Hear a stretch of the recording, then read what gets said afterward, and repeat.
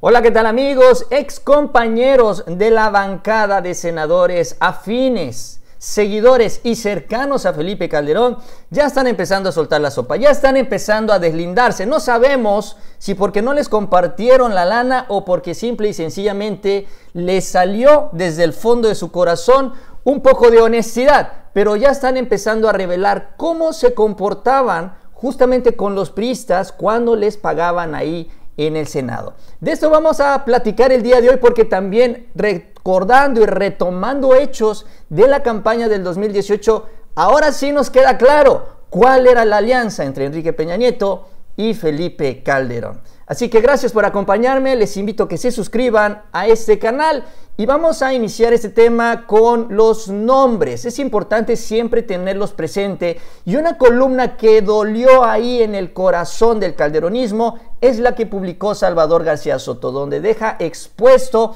a la lista de legisladores, de legisladores entonces panistas, cercanos a Calderón que están embarrados en este reparto de dinero, que es el que justamente vimos en el video. Una parte nada más de estas 16 horas. Salvador García Soto dio a conocer en su columna que, bueno, los nombres que aparecerían en las investigaciones ya enmarcadas en estas evidencias son los ex senadores. Entonces, senadores Roberto Gil Suart, particular y abogado de este grupo. Ernesto Cordero, también entonces presidente de la mesa electiva y sabemos secretario de Hacienda de Calderón. Javier Lozano, vocero, secretario del Trabajo. Salvador Vega Casillas, secretario de la Función Pública. Y Mariana Gómez del Campo, familiar también y muy cercana al equipo de Felipe Calderón. Lo sabemos muy bien la gran mayoría de ellos ya envió cartas aclaratorias al diario Al Universal para decir que ellos no tienen nada que ver con la repartidera de dinero. Ese es el efecto que tuvo esta columna y el video. A esto hay que sumarle las declaraciones de Francisco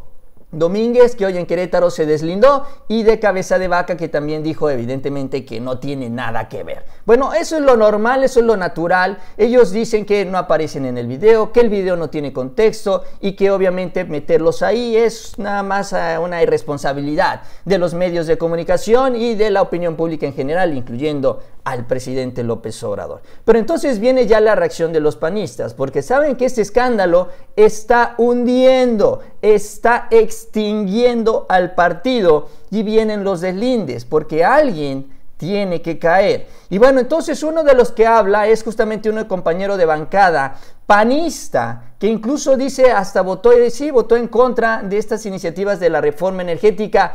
No sabemos si por convicción o porque no le tocó mochada, pero el caso es que él empieza a revelar. Como él no, no, no entró a este grupito, entonces está sacando y soltando toda la sopa. ¿Qué fue lo que dijo?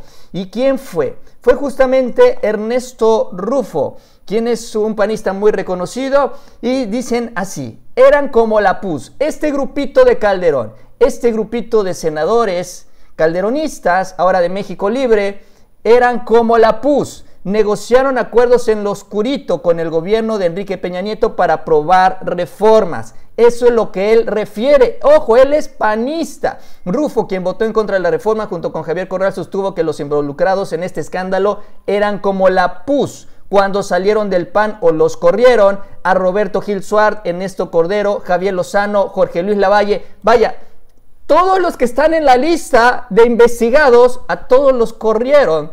Yo dije que me sentía aliviado de que se saliera la PUS, y así es, siempre empecé, eh, sospeché de su actuar, se la pasaban en la oficina de Emilio Gamboa, dice, iban y venían, esto en una entrevista que ya también dieron a conocer, andaban con puros pactos y acuerdos secretos, se veían mal, mi intuición dijo, estaba en lo correcto. Además comentó que tenían controlada la bancada, fueron los herederos de Felipe Calderón, eso, eso nos queda claro.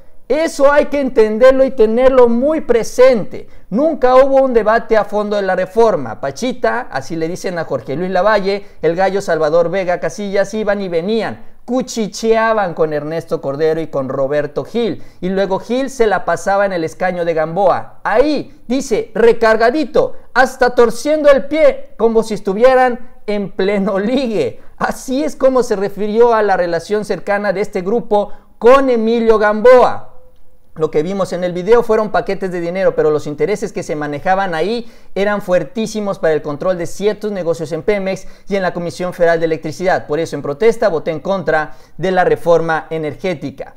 Eh, bueno, a los involucrados políticamente los están enterrando y más vale que salgan a la calle a limpiarse la cara. El problema es que están embarrados de tierra y eso no va a ser nada fácil. Entonces, esto es lo que dice uno de sus compañeros de bancada, Ernesto Rufo, refiriéndose a esta relación muy cercana de este grupo calderonista que le gustó mucho el dinero, tanto así que robaron seis años de gobierno de Calderón y siguieron sacando dinero en el gobierno de Enrique Peña Nieto. A esto hay que sumarle también que hay más eh, ya declaraciones de los Lozoya que se han dado a conocer, donde se refiere que no eran solo 52 millones que les dio Emilio Lozoya, sino que fueron en total 80 millones de pesos, es decir, que hay más, más dinero, 80 millones de pesos, eh, también reafirmando el nombre de los legisladores, incluyendo a Miguel Barbosa y a Ricardo Anaya. Eso es también lo que se señala con esta información adicional.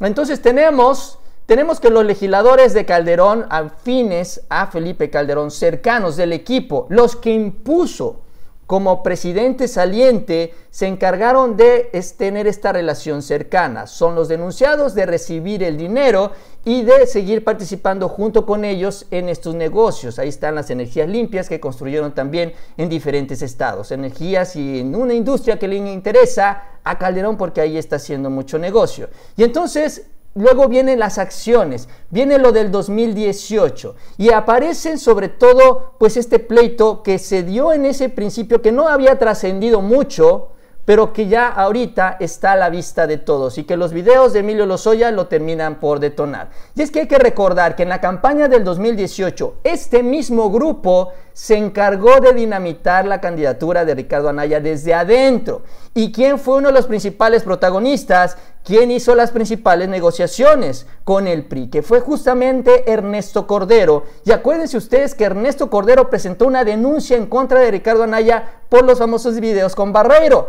Miren cómo se refiere a este tema, miren cómo se refiere a los videos y oh, cómo da vueltas el mundo ahora estos mismos argumentos ya no los quieren hacer válidos los propios calderonistas. Vamos a recordar ese momento cuando Ernesto Cordero presenta la denuncia, porque ahora ya sabemos lo que había detrás, muchos intereses económicos. Lo que yo le estoy pidiendo al procurador son tres cosas. Una, que tome en consideración y en las investigaciones este video, donde se vincula sin ninguna ambigüedad a Ricardo Anaya en la red de lavado de dinero.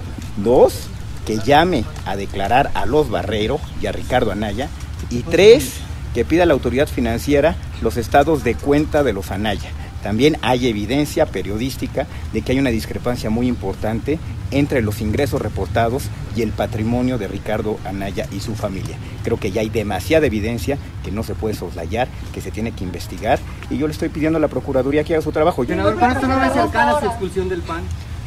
Mira, a mí en el Partido Acción Nacional es un partido de libertades, de principio y de gente honesta. Lamentablemente nuestro candidato no es una persona honesta. Yo creo que al, final de cuentas el que deben de expulsar del PAN es a Ricardo Anaya, que entregó ideológicamente al partido y aparte es un deshonesto y está rodeado de gente deshonesta. de servirle al PRI. Mira, yo, yo lo, lo que creo, lo que creo, sin ninguna duda, es que el PAN, los fundadores del PAN, los principios del PAN, no están bien servidos con la candidatura de Ricardo Anaya. Si alguien fue a servir al PRI, fue Ricardo Anaya. Eso es lo que dice Ernesto Cordero, y con todo el cinismo del mundo, cuando la misma persona que les pagaba a ellos, le también pagaba a Ricardo Anaya. Es increíble, solo que Anaya decide romper con el grupo peñista, para tratar de subir puntos en la campaña y este grupo siguió trabajando y siguió pues utilizando pues eh, el sistema que estaba a su favor en esta alianza que tenían con el peñismo para presentar estas denuncias y tratar de debilitar al grupo y regresar a controlar el PAN. Pero detrás de esto mucho, mucho dinero. Incluso los panistas en ese momento hay que recordarlo porque ahora ya sabemos qué es lo que había detrás. Eh, Damián Cepeda dijo que Ernesto Cordero le está haciendo trabajo sucio al PRI luego de que anunciara que presentará esta denuncia en contra de Ricardo Anaya. Pues sí. Le pagaron para eso. Estaban trabajando en conjunto, seguían recibiendo los moches. La línea la marcaba Emilio Gamboa con su sobrecito de dinero. Ese era el objetivo, eso es lo que había detrás, es realmente increíble. Y ahora usando los mismos argumentos, bueno, ahí está el video, está la investigación que debe impulsarse, este video debería tomarse como evidencia, porque lo que primero hicieron todos estos grupos de calderonistas es desacreditar toda esta información, desacreditar los reportes periodísticos que presumió en aquel momento el propio Ernesto Cordero, asegurando que ya era indudable toda la evidencia en contra de Ricardo Anaya. Bueno, ahora es indudable la cantidad de información que hay sobre los moches que ellos recibieron y por lo cual todavía, y como lo ha dicho Ernesto Rufo, ojo, lo dice un panista, no han dado la cara, sino lo han decidido negar, tomando en cuenta todo lo que hay ya ahí frente a nosotros, incluyendo las bolsas llenas de efectivo. Bien amigos, pues así las cosas. Gracias, gracias por acompañarme. Les invito a que se suscriban y nos vemos a la próxima.